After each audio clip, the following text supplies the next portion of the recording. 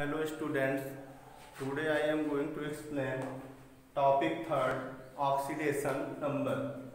Before this topic, I explained you in the last class topic 1st of reduction definition on the basis of classical concept and topic 2nd on the basis of electron transfer concept. Now the topic 3rd, that is oxidation number. What is oxidation number? First of all, BC. Oxidation number represents the oxidation state of an element. Oxidation number, ऑक्सीकरण संख्या किसी भी element के oxidation state को प्रदर्शित करता है in a compound certain according to a set of group किसी कंपाउंड में ऑक्सीडेशन नंबर उस एलिमेंट के ऑक्सीडेशन स्टेट को रिप्रेजेंट करता है कुछ नियम के अनुसार इस according set of rules formulated on the basis of that electron pairs in a covalent bond जिसमें कि जब वो कंपाउंड बनता है तो कंपाउंड चाहे इलेक्ट्रोवेलेंट हो चाहे कोवेलेंट हो चाहे कोऑर्डिनेट हो तो अगर कोवैलेंट या कोऑर्डिनेट हो या इलेक्ट्रोवैलेंट हो तो कोवैलेंट बॉन्ड की अगर हम बात करते हैं इस कोवैलेंट बॉन्ड में जो कंपाउंड बना जैसे एल ये कोवैलेंट कंपाउंड है शेयर ऑफ इलेक्ट्रॉन से बना हुआ है तो ये जो कंपाउंड बना इसमें जो इलेक्ट्रॉन शेयर हुए हैं the bond which is obtained by the complete share of electrons are known as covalent bond यहाँ पे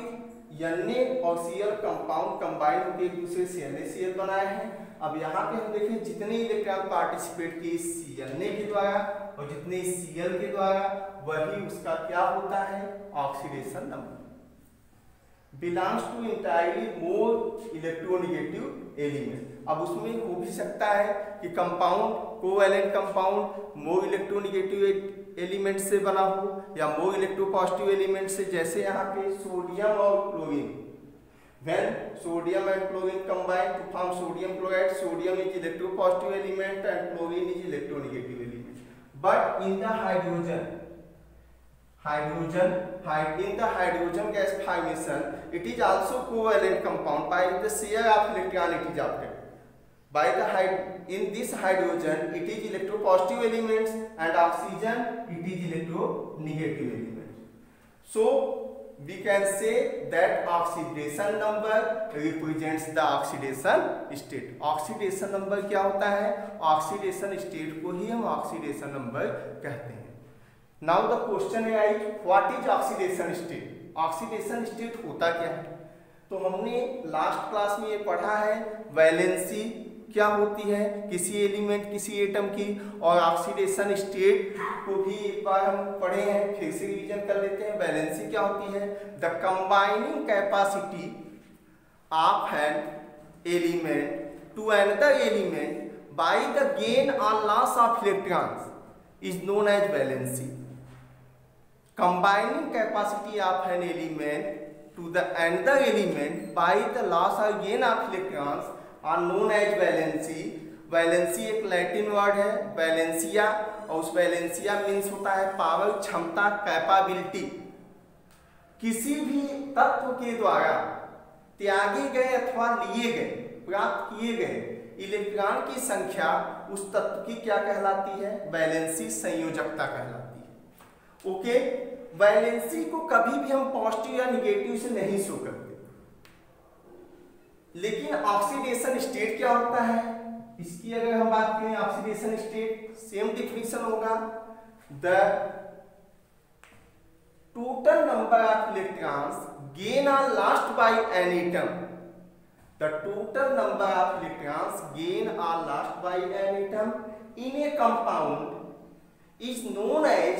their oxidation state oxidation state is always plus minus zero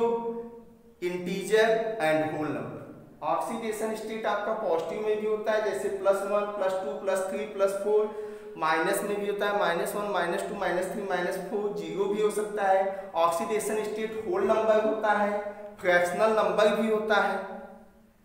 one by two three by two four by three